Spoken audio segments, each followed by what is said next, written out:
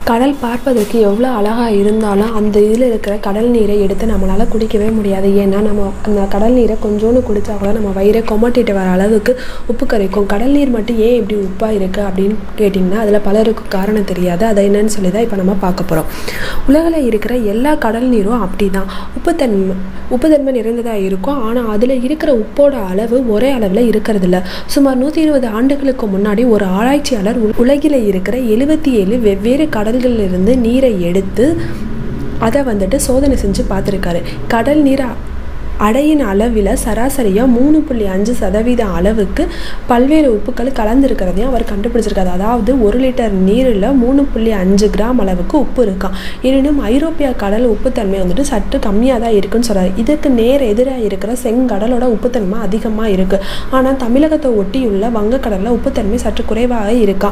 கங்கை பிரம்மபுத்திரா மகாநதி போன்ற பல நதிகள் கடலை வந்து கலக்கிறதே இதுக்கு காரணம்னு சொல்கிறாங்க நிலத்தில் விழும் மழை நீர் வளிமண்டலத்தில் இருக்கிற கார்பன் டை ஆக்சைடில் சிறிதளவு கலக்குதான் இதனால தான் மழை நீரில் சிறிதளவு கார்பனிக் அமிலத்தன்மை வந்துட்டு இருக்குன்னு சொல்கிறாங்க சிறிதளவு அமிலத்தன்மை உடைய இந்த மழை நீர் பாறைகள் மீது விழும்போது பாறைகளை அரைக்குதா? இந்த நிகழ்வோட போது ஏற்படும் வேதி மாற்றத்தினால மின்னூட்டம் பெற்ற அணு துகள்கள் அதாவது அயனிகளாக உருவாகுது. இந்த அயனிகள் மழை வெள்ளத்தால் அடித்து செல்லப்பட்டு இறுதியாக கடலில் இருக்கிற உயிரினங்கள் பயன்படுத்தி கொள்ளுதான். பெரும்பாலான பகுதிகள் வந்துட்டு கடல்லையே தங்கி விடுது இது இந்த அயனிகளில் நைன்டி பர்சன்டேஜ் சோடியம் குளோரைட் தான் உள்ளடக்கி இருக்கான் சோடியம் குளோரோட தன்மை என்னன்னு பார்த்தீங்கன்னா உப்புத்தன்மை தான்.